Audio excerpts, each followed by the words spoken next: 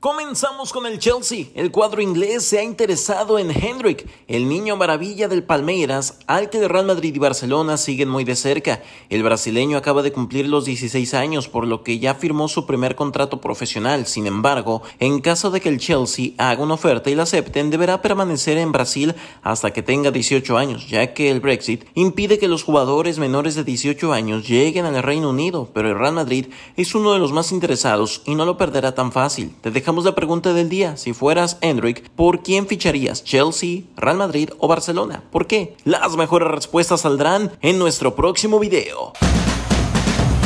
Hola, ¿qué tal?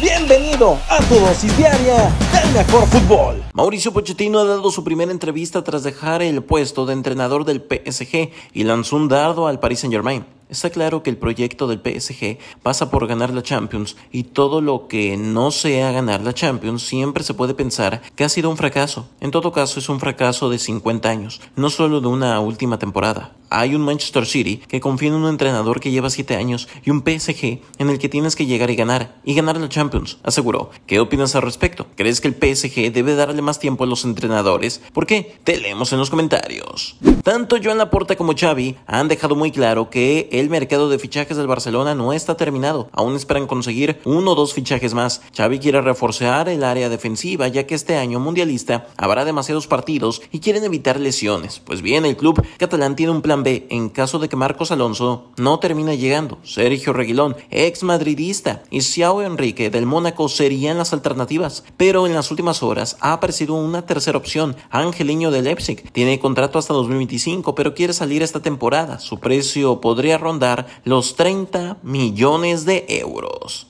Antes de continuar, queremos agradecer a Heiki Padilla, Adriano Ramos y Elkin Jair por suscribirse a nuestro canal, solo para futbolistas. A todos los que se suscriban y comenten les mandaremos saludos en el próximo video. Te dejo el link en el primer comentario. El día de hoy puede ser clave para el futuro de Kepa Rizabalaga. El arquero del Chelsea está nada de marcharse al Nápoles. Sus agentes se encuentran en contacto diario desde hace una semana con el conjunto italiano para cerrar su sesión por una temporada. Todas las partes están de acuerdo, solo faltan un par de detalles para que se haga completamente oficial. Liverpool acaba de renovar a Diogo Jota. El cuadro inglés anunció que el portugués ha firmado un contrato largo con los Reds.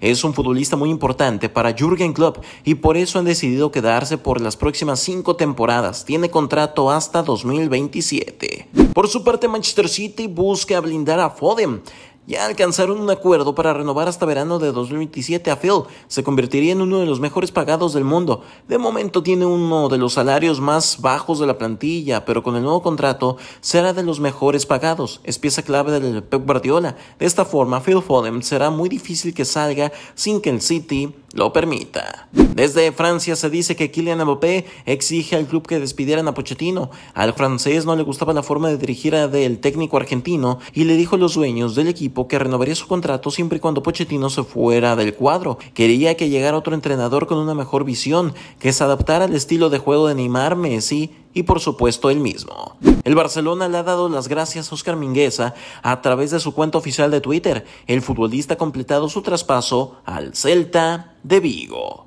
Alexis Sánchez ha pactado con el Olympique de Marsella. El delantero chileno llegará a Francia, pero ganando la mitad de lo que ganaba en el Inter. Tendrá un salario de 3 millones de euros y llega de forma gratuita tras terminar su contrato con el conjunto italiano. Renato Sánchez está nada de salir del Lille rumbo al PSG. El jugador ya tiene un acuerdo con los parisinos desde hace varias semanas, pero ambos equipos aún siguen negociando los términos del traspaso. Por otra parte, el Milán se ha entrometido y quiere robárselo al PSG, pero las negociaciones ya están muy avanzadas. Terminamos con Mark Cucurella según el Daily Mail, el Chelsea ha aceptado las prestaciones del Brighton y pagarán 60 millones de euros por el español, cantidad que el City se negó a pagar. El futbolista está forzando su salida ya que la semana pidió el transfer request. En las próximas horas podría hacerse oficial. Aún falta la firma de ambos equipos. Estas fueron las mejores respuestas del video anterior. Trajo para ti Brandon Ambris. Sígueme en Instagram, Brandon-Ambris. Hasta la próxima en Adictos Fútbol. No olvides suscribirte a nuestro canal.